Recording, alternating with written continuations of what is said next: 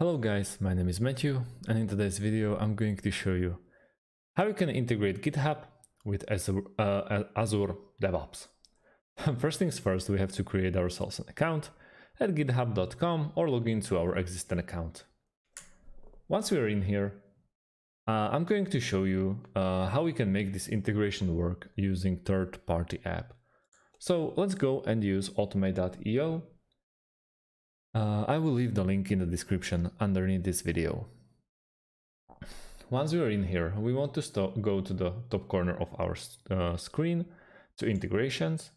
And once we are in here, let's go uh, to the bottom left part of our screen uh, to see all categories.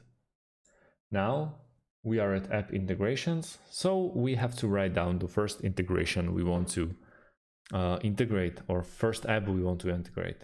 So Let's go with GitHub.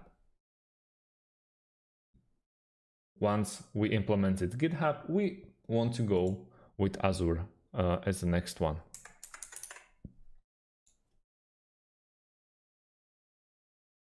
Once we do that, uh, we are greeted by uh, some already pre-made uh, integrations by automate.io as popular integrations.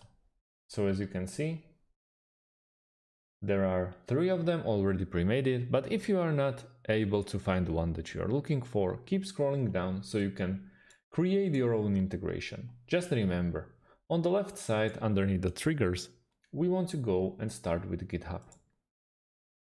Like this. There's a couple of options for GitHub, but I'm going with the first one just to show you. On the opposite side though, we want to go with actions. And on the right side, we want to pick one of those two. So I'm still sticking with the first one. All we have to do now, we have to click on, uh, let's try button. And uh, all we have to do now is just to log in or register to our existing account at automate.io. Uh, once we do that, we are basically a few clicks away from finishing this integration. We can also use Zapier.com, which is a quite similar app to GitHub, uh, I'm sorry, to automate.io.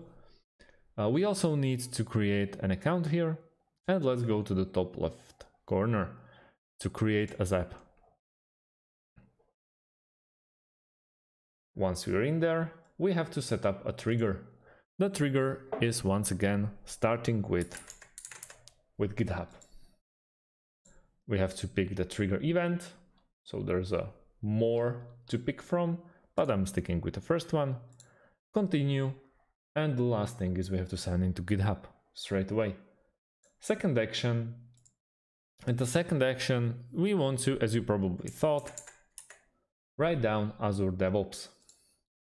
We also need to uh, pick a trigger, so there's one more option, like this, continue, and all we have to do now is to sign into Azure DevOps. And that's about it.